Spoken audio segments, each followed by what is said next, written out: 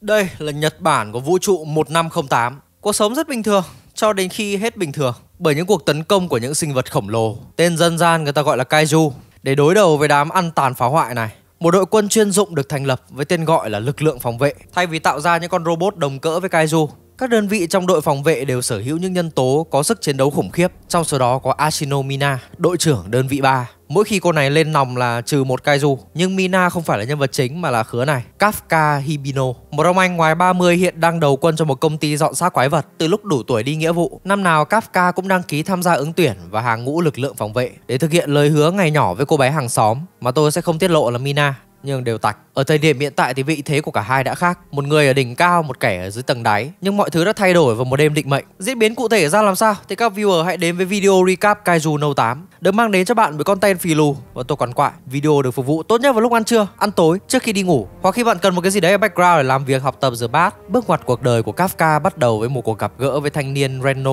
Ichikawa, nhân viên part-time tại công ty nơi anh đang làm việc. Khứa này cũng có tham vọng trở thành một phần trong lực lượng phòng vệ nên khi biết Kafka đã từ bỏ giấc mơ của mình, liền tỏ thái độ khó chịu rõ trên từng thớ mặt. Nhưng sau khi cùng nhau làm việc, ấn tượng với Kafka trong Reno đã dần thay đổi. Cuối ngày công hôm ấy, Reno đã đến cảm ơn Kafka về sự giúp đỡ nhiệt tình, đồng thời thông báo cho anh về việc lực lượng phòng vệ đã nới độ tuổi tham gia lên 33. Ngay đến đây thì Kafka thấy khứa này cũng không tệ, còn việc tái đăng ký thì cần xem xét. Giữa lúc hai anh em đang nói chuyện, một con kaiju cỡ trung bình từ đất chui lên, suýt nhắm được Reno nếu không có Kafka kịp can thiệp. Với tư cách là đàn anh, Kafka bảo cu tân binh đi báo chính quyền, còn mình thì lấy bản thân thú sự chú ý. Reno không muốn đi đâu, nhưng Kafka nói gắt quá nên đành phải cắn răng mà nghe theo. Với một ông anh ngoài ba chục mà phải solo với con quái cỡ này Nom bị over sức. Nó chỉ cần một đòn duy nhất thôi, đã đủ vô hiệu hóa một chân Kafka, khiến bộ di chuyển của anh bị tê liệt. Với tình hình này thì niệm đến 99%, nhưng 1% được cứu đã xảy ra. Reno sau khi báo cơ quan chức năng đã lập tức trở lại. Nếu cậu bỏ rơi Senpai ở đây thì còn gì là đạo đức nữa. Giờ thì hai chọi một, địch không trột nhưng ta đã què Giữa lúc ngàn cân treo sợi bún, Mina cùng đồng đội đã đến kịp tiễn con quái về miền cực nhọc. Ánh mắt hai người hàng xóm gặp nhau nhưng chẳng lời nói nào được thốt ra cả. Kẻ đang sắp ở đỉnh cao danh vọng, người ở tận dưới đáy chân núi, nhìn đâu cũng thấy sự chênh lệch. Tối hôm đó cả Reno lẫn Kafka đều được đưa vào viện. Sau khi được khứa đàn em truyền động lực, ông anh đã lập tức bừng sáng tinh thần, quyết định sẽ thử thêm lần cuối và ủa con gì đây? Ngay sau khi phát tín hiệu tìm ra, sinh vật kia làm một cú tông thẳng vào mồm Kafka. Thấy bên giường Senpai có động, tưởng ông anh lên cơn động kinh thì Reno liền chạy sang xem thử, thì lập tức đập vào mắt cậu là một con kaiju hình người, chạy hệ điều hành Kafka,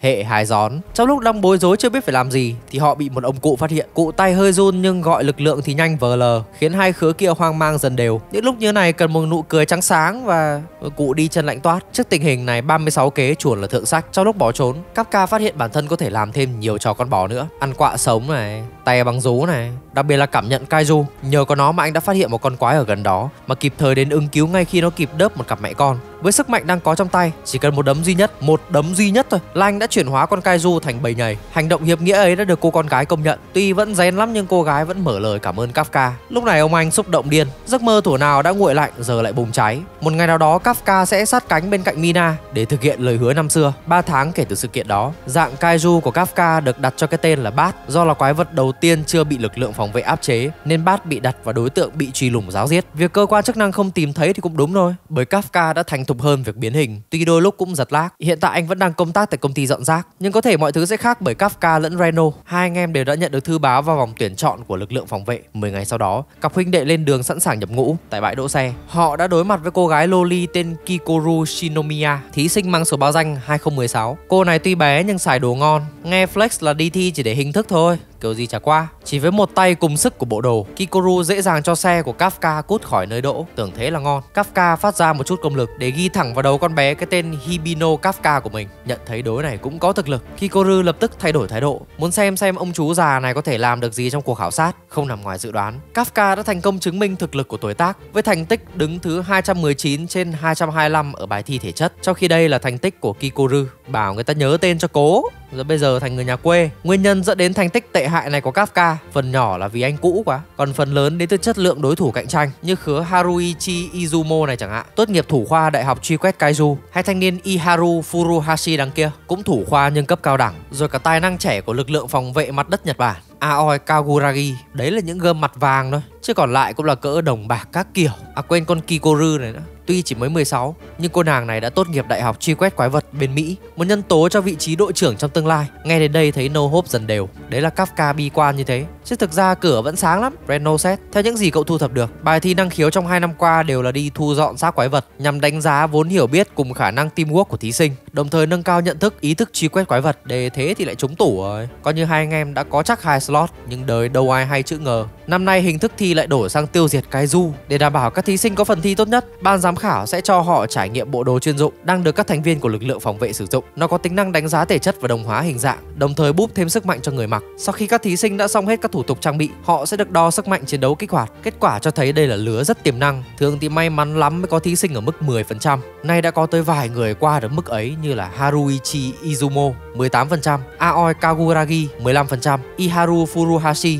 14%, thậm chí còn có cá nhân lên đến 46%. Người đó không ai khác ngoài Kikoru, thí sinh tài năng nhất lịch sử. Còn bên nhà ta cũng tạo ra lịch sử với danh hiệu thí sinh kém nhất với 0%. Kể cả khi đã dồn credit thít cơ mông vận sức thì chỉ số vẫn chẳng nhúc nhích. Chưa biết Kafka sẽ giải quyết ra làm sao. Còn bây giờ chúng ta sẽ đến với thể lệ bài thi được đội phó Soshiro Hoshina trực tiếp phổ biến. Trong bài diễn tập rộng lớn này, nhiệm vụ của các thí sinh là phải tiêu diệt Kaiju dư dưới sự quan sát của những drone cá nhân. Nếu phát hiện tính mạng của thí sinh đang bị đe dọa, họ sẽ được bảo vệ ngay lập tức bởi khiên chắn trên chiến phục. Một khi cơ chế này được kích hoạt thì đồng nghĩa với việc thí sinh đó sẽ bị loại ngay khi tín hiệu bắt đầu được phát ra. Kikoru đã cho thấy những phẩm chất làm nên tên tuổi đỉnh chóp kịch trần của mình. Cô nàng xây đến đâu là có kaiju ngỏm đến đấy, khiến ai nấy đều ngỡ ngàng ngơ ngác. Trong khi đó đối thủ của cô, Kafka, vẫn dậm chân tại chỗ theo đúng nghĩa đen. Nếu anh không làm gì cho thấy mình có ích hơn thì Mina lúc này đang tham gia đánh giá sẽ thất vọng lắm. Thông tin này lập tức đã kích vào máu hăng của Kafka, giúp anh đưa ra một nhận xét chuẩn xác về bài thi này. Các thí sinh phải cho thấy khả năng ứng biến chứ không phải là chạy theo số lượng. Bằng vốn hiểu biết của mình trong quá trình dọn xác kaiju cùng những dụng cụ trang bị có sẵn, Kafka và Reno đã di chuyển khắp các chiến trường để hỗ trợ các anh em trong công cuộc tiêu diệt lũ quái, từ đó nhận về sự công nhận của họ và cái nhìn khác từ ban giám sát. Tuy nhiên số trời trêu người, Kafka bất ngờ bị tấn công khiến cơ thể bị tổn thương khá nặng. Giữa bối cảnh con quái vật đang ngày càng lại gần, tuy Kafka đã cố gắng đứng lên nhưng vì an toàn cho thí sinh, bên giám sát buộc phải cưỡng chế kích hoạt khiên chắn. Cũng may điều tệ đó đã không xảy ra. Loli Kikoru đã kịp thời xuất hiện nã cho con kaiju tan xác. Tuy đã qua được cơn nguy khốn này, nhưng cửa Kafka bị loại vẫn còn sáng lắm. Ban giám sát phát hiện xương của anh đã bị gãy nhiều chỗ. Nếu cố quá sẽ dẫn đến quá cố, nên họ khuyên Kafka nên chủ động dừng bài thi tại đây. Ý này nghe thì hợp lý đấy, có điều không nằm trong suy tính của mình. Sức mạnh ý chí đã được kích hoạt, chỉ số của Kafka có biến động từ 0 đã nhảy lên tận 0,01. Nếu đã kiên định như thế thì bên giám sát cũng không ép, họ đồng ý để Kafka tiếp tục. Với điều kiện sau đó có gì họ sẽ can thiệp. Trên tinh thần là lá lành đùm lá nát, người lành cõng người gãy xương. Hai huynh đệ nhà Kafka bày thế cùng nhau lao lên. Mỗi tội khí thế chưa được bao lâu thì bài thi kết thúc khi Kikoru với sự ao trình của mình đã thành công tiêu diệt trùng cuối một cách dễ dàng. Với màn trình diễn trên cả điểm 10 ngày hôm nay, Kikoru chắc chắn sẽ có một tương lai tươi sáng, là hy vọng mới cho các trận chiến với Kaiju sắp tới. Khi các drone đã bị thu hồi về hết, bên giám sát nhận được tiếng hét đầy đau đớn đến từ chính Kikoru với chỉ số sinh mệnh đột ngột tụt giảm. Cùng với đó những Kaiju dư đã bị tiêu diệt trong cuộc thi cũng đã tái khởi động lại, nhận thấy biến này căng. Đội trưởng Mina ra lệnh kích hoạt khiên chắn cho các thí sinh, còn mình và đội phó Soshiro sẽ lập tức tham chiến. Đến với tình hình của Kikoru, trước mắt cô là sự trở lại của chung cuối, còn bản thân thì bị bắn lỗ chỗ. Với cơ thể tàn tạ này thì chỉ một hit là cô coi như vô dụng, kể cả có cố gắng thêm nữa thì kết quả vẫn thế. Nhất là khi con chùm đã tiến hóa, tưởng như đây sẽ là điểm kết cho một ngôi sao mới nổi thì một ngôi sao khác đỉnh hơn đã đến. Kafka không ngần ngại Henshin ngay trước mắt Kikoru kèm theo lời nhắn xuống đi cho anh thể hiện. Ngầu chưa được vài phút thì khứa Kafka đã quay trở về thành hề. Cầu xin Kikoru không tiết lộ bí mật này của mình, nhưng đừng thấy anh vui mà giỡn mặt con quái vừa làm một trò ngu xuẩn mà mọi sự ngu dốt đều sẽ phải trả giá. Cái giá mà nó phải nhận là nhất sát quyền, biến con quái thành từng mảnh thịt vụn. Sức mạnh quá đỗi khủng khiếp khiến Kikoru chết máy trong vài phút, còn Kafka thì bị Reno cho ngay một cái ký đầu vì cái tội láo táo làm chuyện chẳng suy nghĩ. Một lúc sau lực lượng phòng vệ đã đến hiện trường, họ nhận thấy có nhiều điều bí ẩn ở đây, đặc biệt là hiện tượng có nhiều điểm tương đồng với vụ 3 tháng trước. Sau khi dọn dẹp xong đám quái dư, Mina đến phòng bệnh của Kafka để hỏi thăm, trong khi Soshiro làm điều tương tự ở chỗ Kikoru. Khi khứa đầu nấm nhắc đến chuyện cô nàng hạ trùng cuối, Kikoru có chút khựng, nhưng vì trước đó được Kafka giữ bí mật nên cô chỉ đành nhận người ra tay là mình. Trong cuộc họp để ấn định kết quả của khảo sát, ban đầu Kafka bị đánh trượt nhưng đã bị đội phó Soshiro phản đối vì anh nhìn ra ở Kafka có một giá trị hỗ trợ cao, đặc biệt là có sự hề hước không hề nhẹ, có thể đóng góp vào vị trí cây hài của đội nên có thể vào vị trí cảnh binh dự bị được. Bạn nghĩ thực sự đội phó nhìn người chỉ qua sự hài hước hay sao? À ừ thì cũng đúng một phần. Phần còn lại là nhờ cảm quan của một người đầy kinh nghiệm. Trong quá trình thi khi đám kaiju trở lại, chỉ số độ mạnh 9.8 đột ngột xuất hiện. Cùng lúc ấy chỉ số sinh tồn của một người biến mất. Kafka có độ tương thích trang phục lại thấp một cách bất thường và còn nhiều điểm kỳ lạ khác. Soshiro nghi ngờ rằng Kafka là nguyên do của tất cả nên muốn giữ lại để điều tra thêm.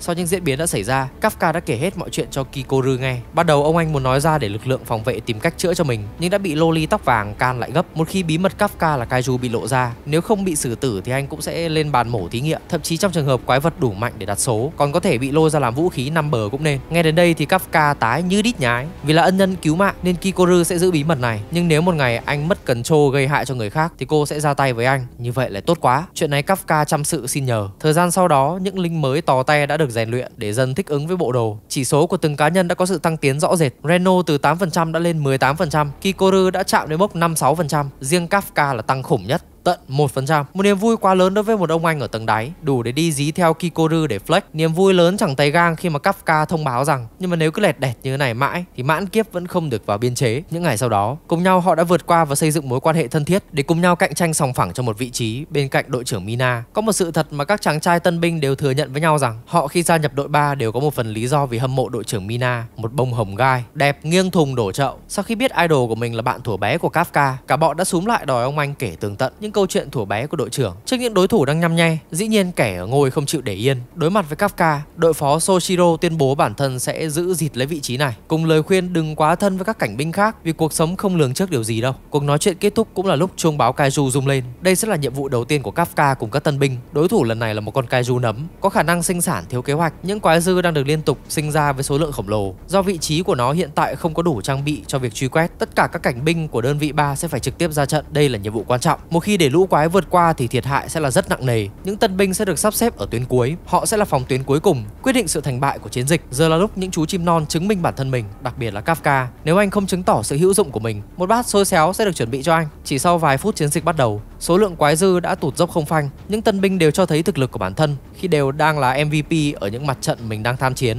Lưu ý là chứa Kafka, ông thần này vẫn chưa có mạng đầu. Suy cho cùng thì sở trường của anh không phải là chiến đấu trực tiếp mà nằm ở vốn kiến thức sâu rộng về kaiju. Sau khi giải phẫu xác một con quái dư, Kafka đã tìm được vị trí nhân cùng cách dễ nhất để tiêu diệt chúng. Bên cạnh đó là vị trí cơ quan sinh sản. Nếu không tiêu diệt được thứ này thì cảnh binh có đánh đến mãn kiếp cũng chả xong. Ngay khi nhận được thông tin, đội phó đã dành cho Kafka một lời khen. Kafka sướng lắm. Hóa ra mình cũng có ích phết đấy chứ. Nếu duy trì được tầm ảnh hưởng này, ngày được kề vai sát cánh bên cạnh Crush sẽ gần thôi. Tuy nhiên để có được ngày ấy, Kafka ít phải đuổi kịp sức mạnh của Mina cái đã. Mỗi lần lên nòng, sức mạnh của bộ đồ cô được kích hoạt lên tới 96%. Chỉ với 4 lần như thế, Mina đã tiêu diệt triệt để con quái chính. Tuy không sở hữu khả năng kích hoạt vũ khí bằng, nhưng nếu xét về kỹ thuật cận chiến xử lý đám vừa và nhỏ thì đội phó Soshiro là đệ nhất đơn vị. Muốn cướp vị trí của đầu nấm, Kafka phải nỗ lực dài dài trở lại với tình hình chiến sự. Việc tiêu diệt quái chính chỉ là bước đầu. Tâm điểm của cuộc chiến này là truy quét tất cả những quái dư đang ào ào như thác đổ từ xác con chính. Mới lần đầu ra trận mà vớ ngay kèo địch thế này thì đúng nản thật. Nhưng nếu nhìn theo hướng tích cực thì đây là cơ hội lớn để tân binh bắt được nhịp, từ đó phát triển năng lực bản thân. Tại vị trí của Reno và Iharu, họ bắt gặp một người trong công ty dọn xác kaiju. Khứa tóc hồng có lòng tốt bảo người đó mau đến nơi tập trung cho an toàn thì bị đối phương tấn công. Nếu không có thần may mắn phù hộ thì tim của cậu đã cộng một lỗ thông gió.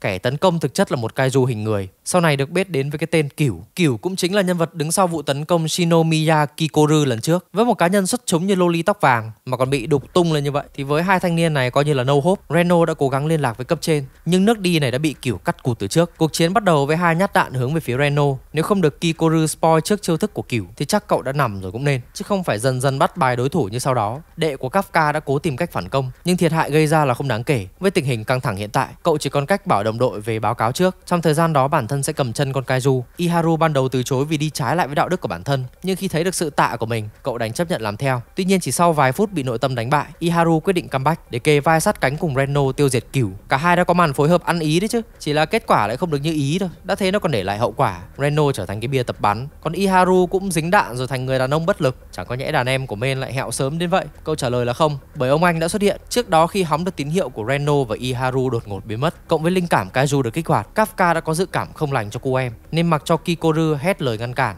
Anh vẫn henshin để đến hiện trường trước khi quá muộn. Giờ thì Kafka đã ở đây, tận mắt thấy đàn em cùng đồng đội bị cửu đả thương và được trải nghiệm những gì họ đã trải qua. Không gì có thể ngăn anh hủy diệt con Kaiju chết tiệt kia được nữa. Diễn biến sau đó là sân khấu để Kafka trong Kaiju mốt thỏa sức tung hoành. Kể cả khi cửu đã bật chế độ hủy diệt thì cũng chỉ mang tính cố đấm ăn xôi mà thôi. Combo đòn mà Kafka tung ra xét về cả độ nặng và độ nhanh đều quá khủng, khiến cho cửu không kịp hồi phục. Thời gian làm nóng đã kết thúc, Kafka vận công lực để thực hiện một cú đấm phun lực làm toang hoác cơ thể của cửu lộ cả nhân. Nếu không bị lực lượng phòng vệ phát hiện thì ngày này năm sau là dỗ đầu của Cửu rồi. Tận dụng thời cơ Kafka phân tâm, Cửu đã trốn thoát. Kèm theo đó là lời hẹn tái đấu trong tương lai. Để tránh dính phải những rắc rối, Kafka lập tức phải lùi ngay. Nhưng chạy đâu cho khỏi số trời. Cơ duyên đã đưa đẩy Kafka trong hình hài của bát chạm mặt với đội phó. Sau một vài câu mở bài, Soshiro lập tức áp sát Kafka mà vung kiếm. Nếu anh không phản ứng nhanh thì có lẽ đã bị xẻ như con quái dư trước rồi. Đúng là không thể đánh giá kẻ nào đó qua nụ cười của họ. Soshiro của hiện tại đang ở mức kích hoạt 92%, đã sẵn sàng bẹp nghiêm túc, trong khi Kafka không thể chơi tới bến tới bờ được. Nếu đội phó dính cú đấm mà anh hay dùng thì liệm chặt chứ chả đùa. Nhưng nếu không làm gì thì kẻ gặp nguy hại lại chính là Kafka. Để tránh nguy hiểm cho đôi bên thì chuồn là thượng sách. Nhưng Soshiro say mày không thoát được đâu con trai. Những cú vung kiếm với tốc độ bàn thờ khiến Kafka không kịp hóa cứng để ngăn cản. Nên xét riêng về động tác ra đòn,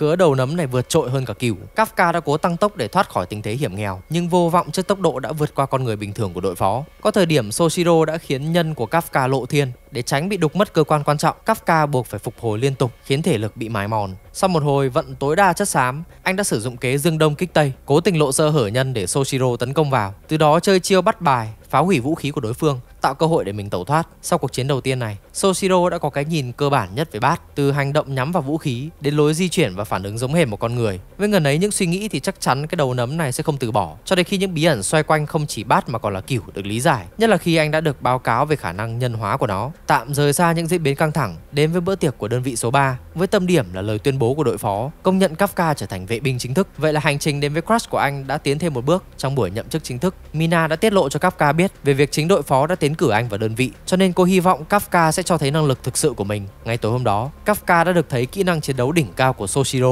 Tuy chỉ là tưởng tượng thôi nhưng nhát nào ra nhát đấy. Đặc biệt đó còn là những kỹ năng khắc chế bát trong thực chiến. Mới nghĩ tới thôi đã thấy quan ngại hộ Kafka ngang. Không biết là trong lần tái đấu main có cơ mà chạy nữa hay không. Sự khổ luyện chui rèn kỹ năng này xuất phát từ mong muốn tiêu diệt Kaiju, bảo vệ người dân và đồng đội. Nhưng Soshiro không phải tự thân làm hết, anh cũng đặt nhiều kỳ vọng vào những người kề vai sát cánh với mình. Những lời nói của đội phó khiến Kafka suy nghĩ phết. Vừa mới lấy tinh thần sẵn sàng đáp lại kỳ vọng đó, thì cơ hội đã đến với Kafka. Một cuộc tấn công bất ngờ từ trên không đổ ập xuống căn cứ. Theo những gì phòng điều hành phân tích, tất cả những Kaiju đâm xuống đều mang sức mạnh cấp quái chính. Trong bối cảnh đội trưởng Mina đang vắng mặt, đội phó sẽ đứng ra chỉ huy. Anh lập tức huy động toàn bộ vệ binh sẵn sàng chiến đấu. Mục tiêu là dồn toàn bộ lũ quái vào bãi tập. Cuộc tấn công này có hai điều kỳ lạ. Thứ nhất là lũ Kaiju nhắm trực tiếp vào căn cứ. Thứ hai là do Kafka nhìn ra những Kaiju tấn công thuộc loại rực long, một loài có tập tính tấn công đơn lẻ. Để lũ này tụ thành bầy thế này chỉ có một khả năng duy nhất, chúng đang bị một thế lực có trí tuệ nào đó kiểm soát. Thế lực đó xuất hiện ngay trước mắt Soshiro và tôi sẽ gọi nó là thập, một siêu Kaiju hình người. Với sức mạnh được tính toán là 8.3, không chỉ sở hữu khả năng cần trô quái vật, lực chiến của thập thực sự khủng khiếp, chỉ cần dính một hit của nó thôi là đủ thành tương. Lực thủ của nó cũng khủng chẳng kém, thậm chí còn nhỉnh hơn bát. Đây hứa hẹn sẽ là kèo chiến căng nhất mà đội phó phải đối đầu. Ở một diễn biến khác, các vệ binh cũng đang gặp khó trước rực long, kể cả khi đã được Kafka thông báo về điểm yếu sau lưng của chúng. Lũ Kaiju này đã biết chiến theo kiểu teamwork yểm trợ qua lại với nhau, khiến tình hình khó lại càng thêm khó giữa lúc bí bách ấy.